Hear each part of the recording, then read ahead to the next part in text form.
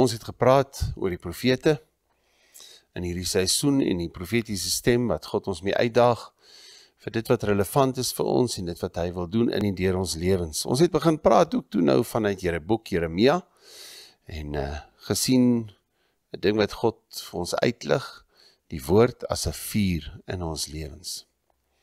Hoe God die woord 'n vuur maak in ons sodat selfs Jeremia dan sê die woord as dit in my is as ek kies om nie aan God te dink nie en kies om nie oor hom te praat nie word dit soos 'n vuur in my binneste wat ek nie binne kan hou nie en met moeite hou ek dit binne nee.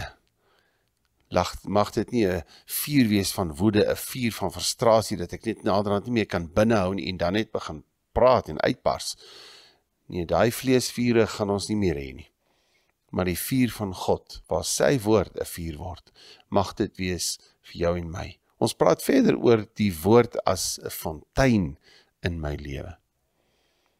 Die woord as 'n fontein waar Jeremia dit vergelyk op so 'n manier en ons sien dat 'n fontein bring varsheid.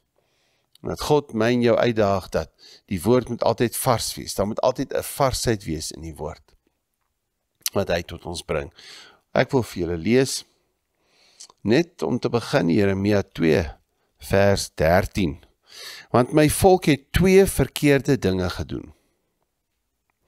My, die fontein van lewende water, het hulle verlaat en vir hulle reënbakke gekap, gebarste reënbakke wat geen water hou nie. God as die fontein van lewende water, die oorsprong van die woord. God is die lewende woord die lewende woord is die fontein wat in ons moet werk en deur ons moet vloei. Reënbakke wat ge, gebars is, ek vang 'n woord hier, ek vat 'n opinie hier, ek vat hierdie se woord, ek vat daai se woord of ek hoor die woord en hy's vandag hier maar môre weg. Mag dit nie so wees nie. In Jesus naam. Ons sien Spreuke 4 vers 23. Gee ons die hart van wat sê God vir ons. Ons sien dat hy sê dat ons moet ons hart bewaar, ons hart bewaar want daaruit is die oorspronge van die lewe. The spring of life. Hart is ge, is die heeltyd ver, word vergelyk met hierdie fontein diepte van 'n fontein, die diepte van 'n hart, 'n diepte uit ons hart koneksie met die diepte van God se hart. Hart tot hart koneksie is wat God oor praat wanneer hy praat oor hy as die fontein en hoe daar 'n fontein in ons moet werk uit die diepte van ons hart moet kwaliteit kom want uit die diepte van sy hart kom daar kwaliteit tot ons. So ons praat baie basies dan oor die hart. Kom ons hoor. Hoofstuk 1 vers 5. Voordat ek jou in die moederskoot gevorm het, het ek jou geken en voordat jy uit die liggaam voortgekom het, het ek jou geheilig eenkant gesit. Ek het jou tot 'n profeet vir die nasies gemaak. Voordat ek jou in die moederskoot gevorm het, het ek jou geken. Waar het God my en jou geken as ons nog nie gevorm was in die moederskoot nie? In die moederskoot waar ons nog soos niks gelyk het nie. In sy hart uit die diepte van sy hart is ons gevorm, is ons gebore. In daardie plek het hy klaar my en jou geken as die woord, die gedagte wat Vader, Seun en Heilige Gees gehad het toe hulle gesê het laat ons mense maak na ons beeld. Het hulle gesê laat ons Caleb maak volgens ons beeld. Laat ons Jaden maak volgens ons beeld. En van daar af het hy vir Caleb geken, vir Jaden geken van daardie oomblik af. Daar is ons gebore. Baie belangrik. Die derde punt. Kom ons hoor uit die boek Jeremia, wat is die Vaderhart woorde waaroor God opgewonde is? God is opgewonde oor my en jou. En as ek sy Vaderhart woorde kan kry en kan vat en kan glo en my my hart volkome in die uit diepte vir God kan gee, dan is die fontein van lewe die senterpunt van my lewe en kan ek verstaan hoe God die varsheid vanuit sy hart vir my wil gee. Mag dit so wees in Jesus naam. Jeremia 29 vers 11. Want ek weet watter gedagtes ek aangaande julle koester. Wat is die woorde in sy hart? Wat is die woorde wat God hou en wat hy bewaar in sy hart? Ek weet watter gedagtes ek aangaande julle koester, spreek die Here, gedagtes van vrede, nie van onheil nie, om julle 'n hoopvolle, 'n hoopvolle toekoms te gee. Dan sal julle my aanroep tot my bid en ek sal na julle luister. Dis Vader God se hart. Hy het 'n fantastiese toekoms vir elkeen van ons. En ons kan kies om daarin te wandel of, of ons kan kies om dit te ignoreer en nie die diepte van sy woorde verstaan nie. Maar onthou dat ons uit die diepte uit die diepte van sy hart sy woorde hoor. Dis dan ook Jeremia 31 vers 3 wat sê ja ek het jou liefgehad met 'n ewige liefde daarom het ek jou getrek met goedertierenheid vriendelikheid omdat uit die diepte van sy hart uit die fontein uit die oorsprong het hy jou ewiglik ewiglik liefgehad daarom trek hy jou met sy vriendelikheid nader na hom toe. Mag dit so wees vir my en jou. Dis Vader God se hart. Volgende punt, punt 4. Hartsvreugde in die woorde van God. Waar vind ek waar vind ek vreugde? Hoe sit ek my hart in sy woorde? Ons kyk na hoofstuk 15. Hoofstuk 15 vers 16. Hoofstuk 15 vers 16. Toe u woorde gevind is toe ek u woorde gevind het het ek hulle opgeëet en u woord was vir my vreugde en vrolikheid vir my hart. Die woorde self was 'n vreugde en 'n vrolikheid daar was 'n varsheid daar was 'n borreling soos 'n fontein wat uitborrel. Want u naam is oor my uitgeroep Here God van die leerskare. God se woorde moet 'n vreugde wees moet 'n vrolikheid in my bring. Och, dit moet nie net 'n ding wees van, "Jogg, hier sê ek verkeerd, daar is ek verkeerd. Hierdie mag ek nie en daarin mag ek." Nee, mag dit so wees dat jy terugkeer na die fontein van lewende water. Ons Here en ons God. Amen. Om vanuit daardie varsheid te leef. Nommer 5. Ons kyk dan na gebarste reënbakke in plaas van die fontein van die lewe. Waar God sê, Hy is vervang as fontein. Hy vervang met gebarste reënbakke. Ons sien hoofstuk 18 vers 12. Maar hulle sê dit is te vergeefs want ons sal na ons gedagtes wandel. Ons het nou net gehoor wat God sê die gedagtes wat hy aangaande ons dink. Gedagtes van hoop, om vir ons 'n vreugdevolle, hoopvolle toekoms te gee. Dit is God se gedagtes. Maar vers 12 ons sal na ons gedagtes wandel. En ons sal elkeen volgens die verhardheid van sy hartbose hart handel. Elkeen volgens die verhardheid van sy bose hart.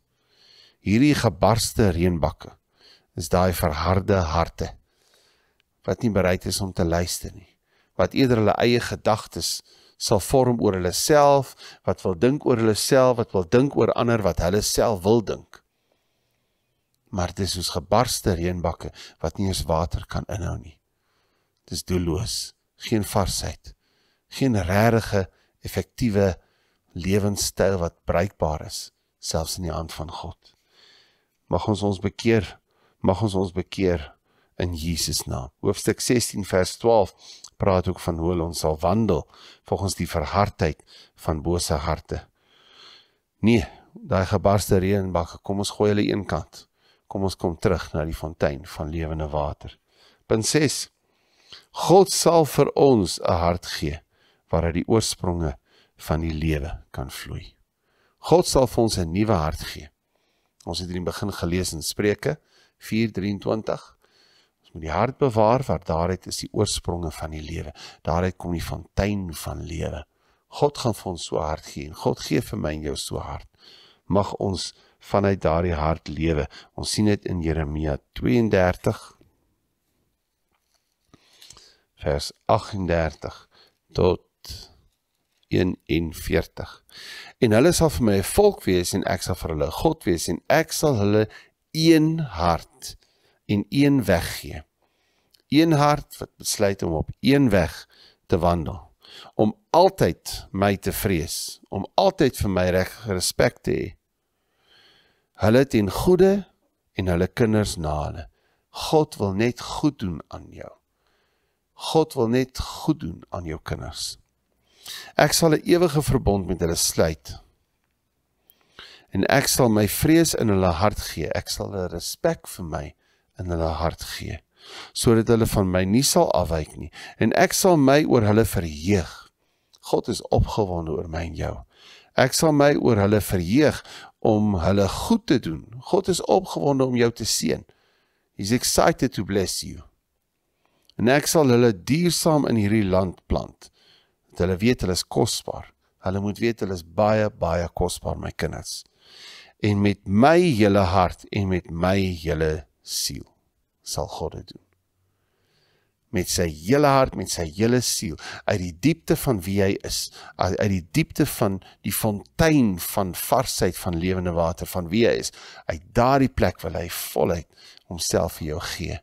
Maar in dit verwag hy van jou dieselfde om vanuit daardie diepte van kwaliteit wat hy in jou hart sit 'n hart wat hom sal eer, 'n hart wat respek het vir hom, dat vanuit daardie plek sal jy hom lief hê, sal jy hom aanbid en sal jy hom behaag. Dis God se hart wat hy vir ons het. Laaste punt.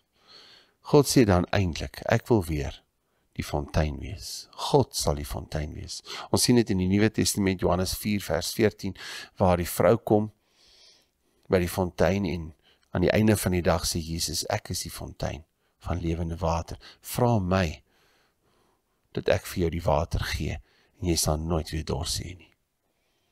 Ek vra ja, selfs Johannes 7 vers 37 en 38. Wag, Christus sê, hy is die fontein van die lewende water. As iemand van hom drink, sal hulle in der ewigheid nooit weer dors hê nie. Hoekom? Want die fontein sal in hulle leef hoe meer ons van God ontvang deur die Heilige Gees en die varsheid van sy woord ontvang, dat ons sê ons gaan nie net woord vat nie. Saam met die Heilige Gees wat die varsheid bring, saam met die Heilige Gees wat op die woord reën, saam met die Heilige Gees bring dit hierdie fontein wat sal opborrel uit my hart uit. Dit wat in my gees geplant word deur die woord sal hierdie fontein wees, daar sal 'n diepte in my wees en uit die diepte van my gees sal daar lewe voortkom lewe voorkom wat vars is. Ek sien jou dat jou verhouding met God mag vars wees. Laat dit dan so wees, want onthou ja, hy het jou liefgehad met 'n ewige liefde. Daarom het ek jou hy jou getrek met sy vriendelikheid. Jeremia 31 vers 3 en dan ook Jeremia 33 vers 3. Roep my aan en ek sal jou antwoord en ek sal jou wys groot en ondeurgrondelike dinge groot en ondeurgrondelike dinge, dinge wat diep is, dinge wat diepte het, dinge wat wat wat kosbaar is. Dinge waarin daar kwaliteit gevoeg kan wees. So wil God jou antwoord uit die diepte van sy hart. Hy wil hê jy, moet tot hom praat en spreek vanuit die diepte van jou lewe en ontvang die diepte en die kwaliteit van wie hy is. Hemelvader, kom en doen dit in ons lewens. Ons vertrou U daarvoor en ek bid vir elke boetie en sussie. Here dat U hulle sal seën met varsheid, elkeen wat nou dink aan hulle lewens en sien daardie dele waar geen varsheid is nie. Here dat U sal kom en net met hulle praat Heilige Gees oor hoe om in daardie plek te kom van varsheid. Hoe om U weer opnuut toe te laat hulle te hulle te bekeer van van verharde harte, Here. En ons kies om weer opnuut leerbaar te wees onder leiding van U Gees. Ons vertrou U daarvoor en ek dank U Vader dat ons met 'n varsheid kan inbeweeg, varsheid van U woord vir dit wat U vir ons môre het in Jesus naam. Amen.